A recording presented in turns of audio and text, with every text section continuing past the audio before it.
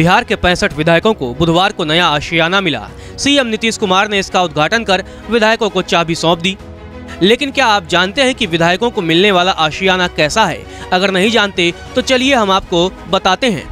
विधायकों का यह नया बंगला काफ़ी आधुनिक है। इसमें गार्ड, ड्राइवर और सर्वेंट के लिए अलग से रूम बनाए गए हैं। जो लोग विधायक से मिलने आएँगे, उनके बैठने की भी व्यवस्था है। साथ ही बंगला में गार्डन और पार्किंग की भी व्यवस्था है।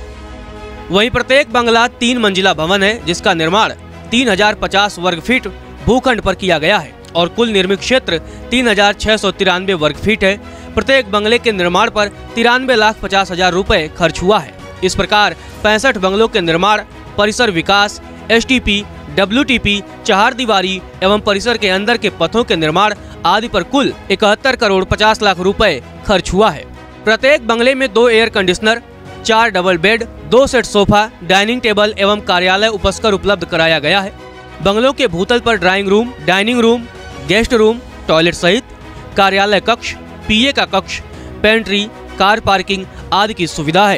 पहली मंजिल पर मास्टर बेडरूम, टॉयलेट सहित दो अलग बेडरूम, टॉयलेट सहित family lounge balcony, open terrace, puja room और दूसरी मंजिल पर स्टाफ के लिए दो रूम, किचन, बाथरूम तथा टॉयलेट है। परिसर के सड़कों के किनारे और कॉमन स्थलों पर पर्यावरण एवं हरियाली के दृष्टिकोण से चंपा फाइकस गुलमोहर महोगनी आदि के पौधे लगाए गए हैं। विधायकों के लिए कुल दो एवं विधान पार्षदों के लिए पचहत्तर बंगलों का निर्माण किया जाना है।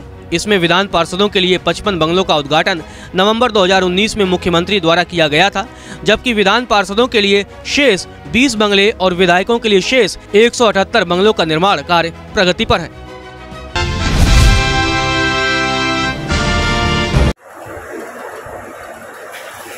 देख रहे हैं साहब, आप इतनी ज़बरदस्त आग भड़की है, जैसे लग रहा है कि दिवाली नहीं, होली है।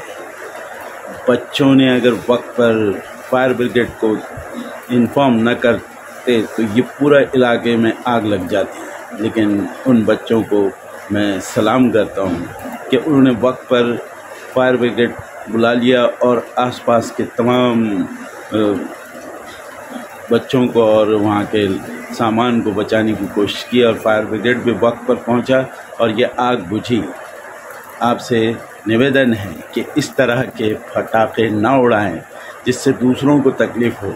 मैदान में जाएँ, बालक बच्चे जो बड़े हैं, वो मैदान में बड़े से बड़े रॉकेट उड़ाएँ, जो धमाके कर सकते आप धमाके करें, लेकिन रास्तों पर और गलियों में, सड़कों पर आप देख रहे हैं कि बच्चे बड़े बड़े रॉकेट उड़ा रहे हैं, कितने नुकसान हो रहे हैं, उससे पोल्यूशन बढ़ रहा है। जैसे लग रहा है कि जंग का मैदान यूक्रेन में बम फट रहे हैं, लेकिन हिंदुस्तान में ऐसे पोल्यूशन फैल गया है, जैसे कि ये त्यौहार अजीब व गरीब है। रोशनी होना चाहिए, घर में रोशनी होने से, घर में रूहानी सुकून मिलता है। और रौनक आती है रहमत बरसती है ये दिवाली है आप दिवाली को दिवाली के तरीके से मनाएँ। दिवाळीच्या फटाक्यामुळे लहान जो भे होता त्याच्यामुळे कुठेतरी बंगार होता मागे थर्मोकॉल होता. थर्मोकॉल आग पहिल्यांदा घेतली. पण प्राथमिक अंदाज आम्हाला हेच म्हणतो होतो की फटाक्यामुळे भांगाराला आग लागली आणि त्याच्यामुळे पुढे फ्रीज होते फ्रीजचे कॉम्प्रेसर फुटलेले आहेत. त्याच्यानंतर वॉशिंग मशीनमध्ये जे वॉशिंग मशीनला खूप हानी झाली. आणि जेवढे दुकानं होते भागाचे ते सेकंड हँड फ्रीज आणि वॉशिंग मशीन सर्व आग आगावात झाले. आणि त्याच्यामध्ये आगाला पेटवणं महत्त्वाचं काम केलं टायर होते. आणि टायर याच्या पेटायला सुरुवात होते तर लवकर जय हिंद. दिल्ली में नगर निगम चुनाव यानी कि एमसीडी इलेक्शन की सुखबुगाट शुरू हो चुकी है।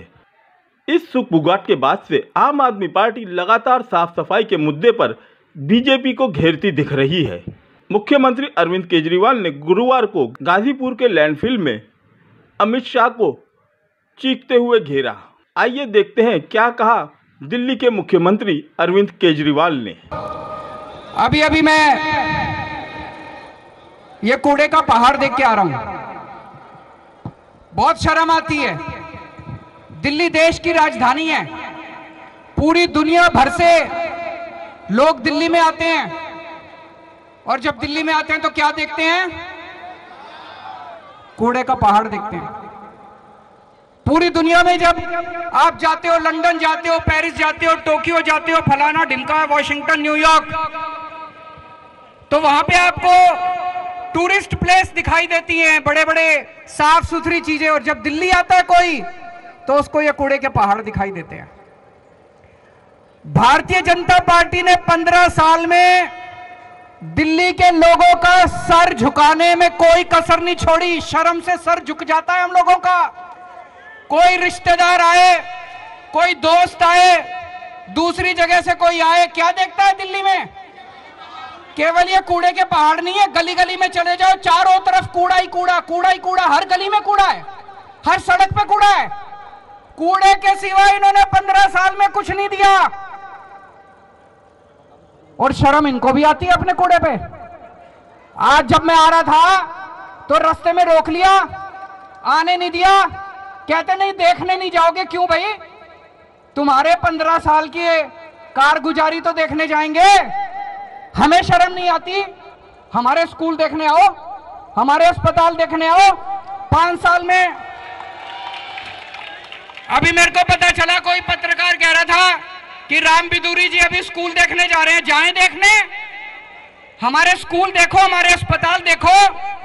दिल्ली में अमेरिका के राष्ट्रपति आए। उनकी बीवी हमारा स्कूल देखने गई।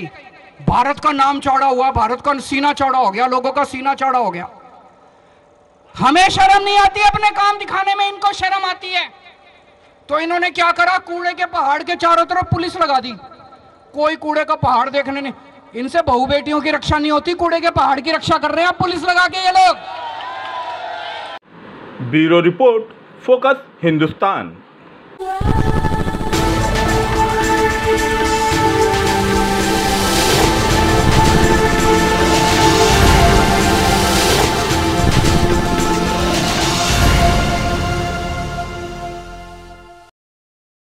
नमस्कार, मैं हूँ माजिद सिद्दीकी और आप देख रहे हैं फोकस हिंदुस्तान की पहली नज़र।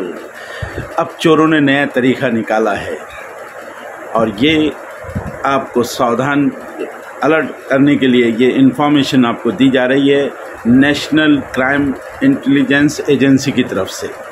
याद रखें, अभी हाथों में एलईडी बल्ब लेकर वो घरों में देखते हैं, बेल बजाते हैं चोर। उनके हाथों में एलईडी बल्ब दो या तीन या चार बल्ब उनके साथ में होते हैं और वो कहते हैं कि ये हमने सैंपल बॉक्स ला, बल्ब लाए हैं। आपके घर में अगर टेस्ट करना है तो आप इसको फ्री लगा सकते हैं। या आपको फ्री दिया जा रहा है। अब जैसे वो घर में दाखिल होते हैं आपसे मोबाइल लेने के बाद आपके अकाउंट और आपका घर पूरा साफ़ हो जाता है। तो इसके लिए आपको फिर एक बार अलर्ट किया जा रहा है, नेशनल क्राइम इंटेलिजेंस एजेंसी की तरफ़ से ये सूचना आपको दी जा रही है। फोकस हिंदुस्तान, मैं हूँ माजिद सिद्दीकी, अलर्ट रहिए और ख्याल रखिए, कोई भी अनजान आदमी आपके घर आ सकता है, उससे बचें। जय हिंद।